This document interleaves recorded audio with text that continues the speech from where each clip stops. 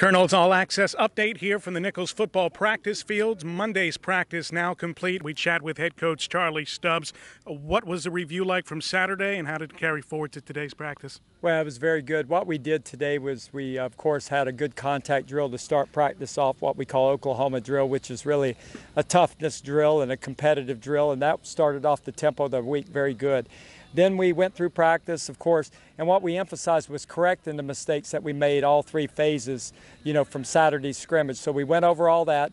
It was extremely warm this morning, very humid out here, and uh, we had some pretty good showers this weekend. So again, the ground was a little soft, which isn't all bad, but again, it was uh, hot and humid. So, but a lot of work, a lot of good concentration. It's a fine line now because we want to work them hard, but be safe, and also so that we don't have any heat-related problems. What did you learn from Saturday after watching it on film? Well, I mean, you learn a lot. Some guys, uh, again, uh, I would start off with the defense. Uh, they made some mistakes, but then they covered it up with hustle.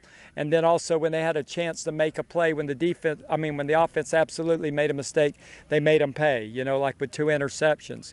I thought offensively, the thing they've got to learn there is that offense, you can't have one guy break down or the whole play looks bad.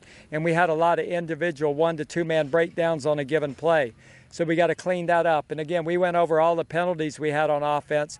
Uh, we had only one procedure penalty, which is, you know, a movement uh, of 76 plays, which I mean, at this time you can live with that. But the problems were the grabbing and the holding and those kind of things, which absolutely you can't do. So we presented them to them, showed them to them, and trying to coach it out of them so that we don't make those mistakes anymore.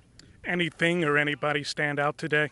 Well, I mean, just, you know, it's pretty standard practice. I mean, everybody's working hard and they're still working everybody. In about a week, we'll start reducing it down because we got to to get ready to play the Ducks. So we'll give it all the way through about this time next week, and then we'll start some true scout teams and start working on what Oregon does. But right now, we're just competing against the Colonels, you know. So that's what we're looking for. And biggest thing we got to do is just stay healthy, Uh, stay hydrated, you know, so that they can function, and then just be smart as coaches. And when I have to reduce a few things here or there, I'm going to just have to do it. All right, Coach. We'll talk to you soon. Thank you.